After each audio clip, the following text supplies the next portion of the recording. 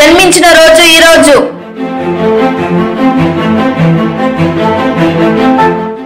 పంతొమ్మిది వందల యాభై తొమ్మిదవ సంవత్సరంలో కెనడియన్ నటుడు రచయిత బ్రామన్ ఆడమ్స్ ఇదే రోజున జన్మించారు.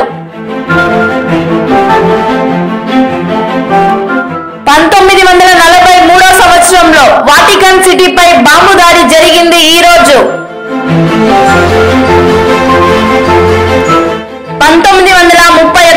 అమెరికన్ గాయకుడు ఇకే టర్నర్ ఇదే రోజు జన్మించారు.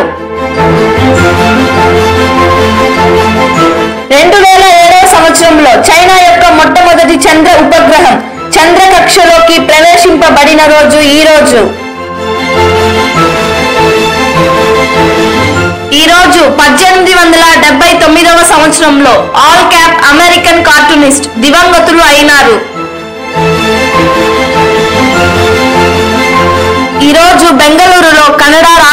ఉత్సవమును జరుపుకుంటారు.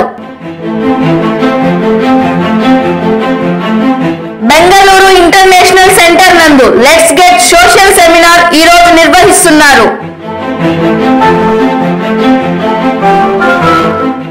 ఈ రోజు పంతొమ్మిది వందల యాభై ఆరులో Nat King Cole show African మరియు అమెరికన్ విదేశాలలో ప్రారంభించబడిన మొట్టమొదటి వైవిధ్య కార్యక్రమం.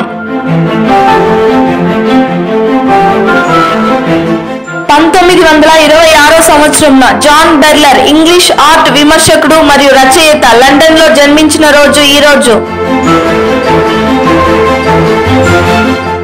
భౌతిక శాస్త్రవేత్త అయిన ఫెడ్రిక్ జర్నీకు పంతొమ్మిది వందల యాభై మూడో సంవత్సరంలో నోబెల్ బహుమతి లభించిన రోజు ఈ రోజు.